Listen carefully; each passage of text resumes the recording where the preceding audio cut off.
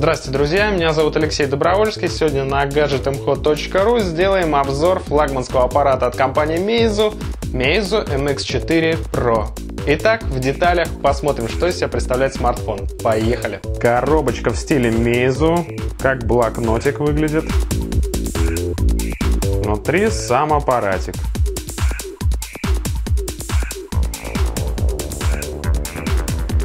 Документация.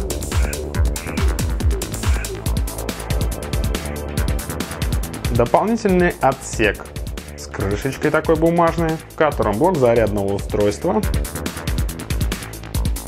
и кабель USB, micro-USB. Сам блокнотик сделан в виде блокнотика, опять же, со страничками.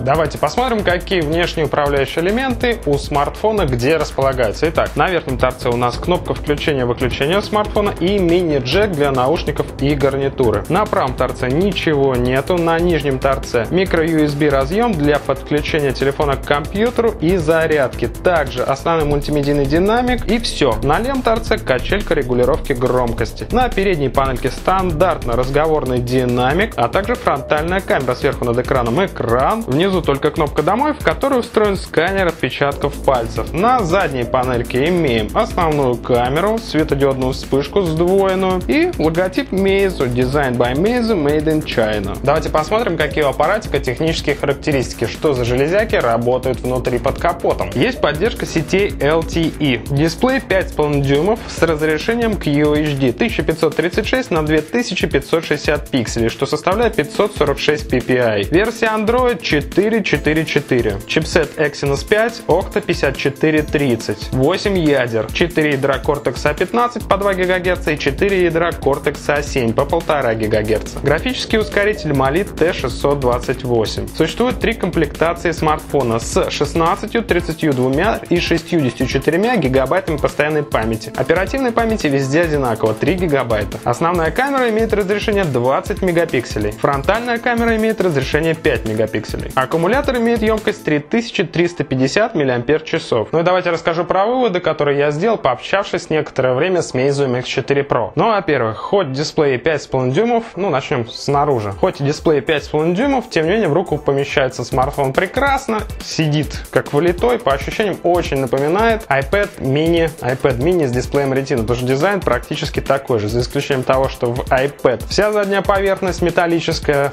она заходит на рамочки, здесь же же только основная периметровая рама металлическая, а задняя крышечка, она пластмассовая. Она снимается, в цвет рамы сделана, такой металлический серый, и аккумулятор можно совершенно спокойно заменить. Далее, что касается дисплея. Дисплей, конечно же, великолепный, разрешение QHD, просто шикарно все читается, все мелкие шрифты, которые даже невозможно просто различить. Тем не менее, если взять лупу, то можно совершенно спокойно увеличив их, увидеть, что написано. То есть четкость просто невероятная невероятная. Что касается сканера отпечатков пальцев, я, честно говоря, параноик в этом отношении и не хочу, повторюсь, не хочу, чтобы мои пальцы светились в каких-либо базах данных. Это так называемая разумная паранойя. Кто-то, конечно, со мной не согласится и оставляет свои отпечатки и у Meizu, и у iPhone, и у Samsung, и так далее, у HTC. Но я вот не хочу, не хочу и все. Поэтому я сканер не тестировал, но люди говорят, вот остальные обзорщики говорят, что работает в принципе очень хорошо, никаких нареканий они срабатывают достаточно быстро. Касабельно камеры, эти 20,7 мегапикселя снимают просто великолепно. Провел фотобитву с Xiaomi Mi 4. Напомню, что Xiaomi Mi 4 это лидер среди фотобитв. Его еще пока никто не победил, даже iPhone 6 и то проиграл ему. Со всеми смартфонами, с которыми тестировал, Xiaomi везде выходил победителем. Ну вот,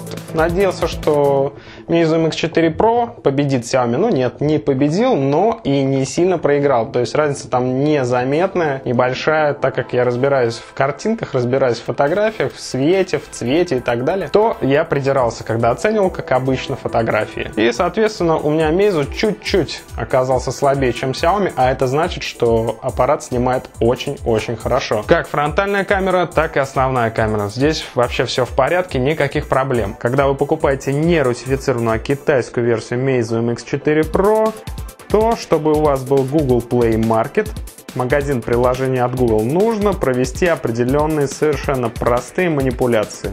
Запустить так называемый App Center китайский, магазин приложений Meizu. В нем набрать в поиске Google. У вас высветится первым Google Play, но его не надо. Нужно именно Google Installer. Он уже установит и Google Play, и все необходимые сервисы для него.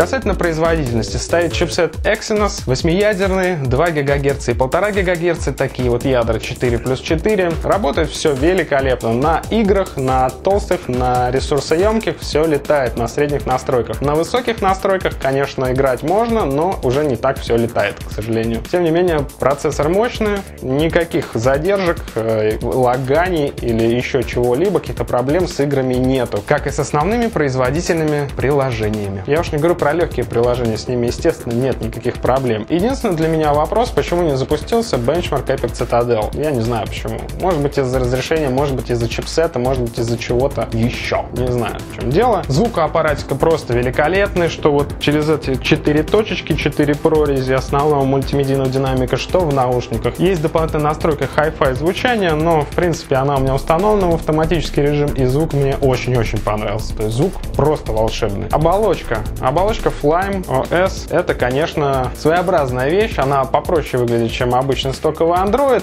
Э, иконочки, конечно, симпатичные. Установил я несколько программ. Их иконочки стали выглядеть в стиле оболочки Flame OS. Такие плоскенькие, красивенькие. Не знаю, как это произошло, но вот так вот автоматически все настроилось. И, в принципе, оболочка выглядит очень даже прилично. Вот. Но с точки зрения функционала, ну, оболочка оболочка. То есть ничего она не привносит в Android, ничего не забирает.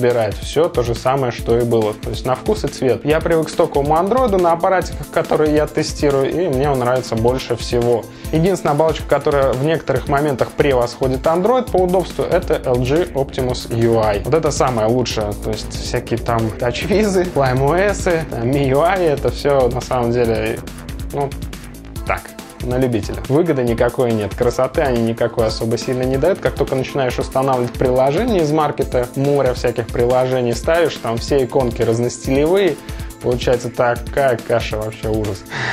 Единства стиля нету, просто нету. Поэтому лучше всего, я считаю, стоковый Android. В итоге, что имеем? Очень мощный, производительный. Батарейку держит целый день спокойно при хорошей достаточно нагрузке. И цена у него не 60 и не 70 тысяч рублей, как это у флагманов А брендов. Цена этого аппаратика 32 тысячи в минимальной 16 гигабайтовой комплектации. Что это означает? Что флагман по бенчмаркам, по производительности производительности, по качеству камеры, по качеству дисплея стоит в два раза меньше, чем флагманы от А брендов. То есть Meizu стоит, вот сейчас Samsung Galaxy S6 вышел за 70 тысяч рублей. Я не знаю, кто его будет покупать за такие деньги, но тем не менее.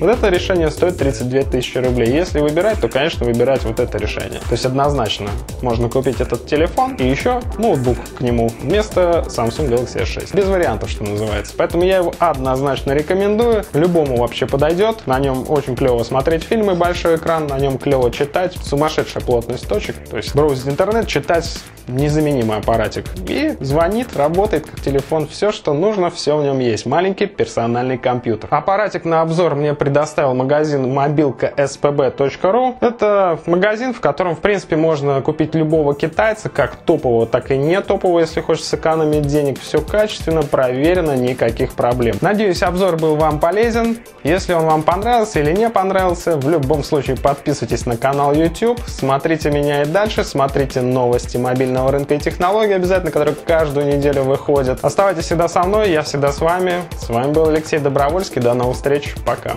you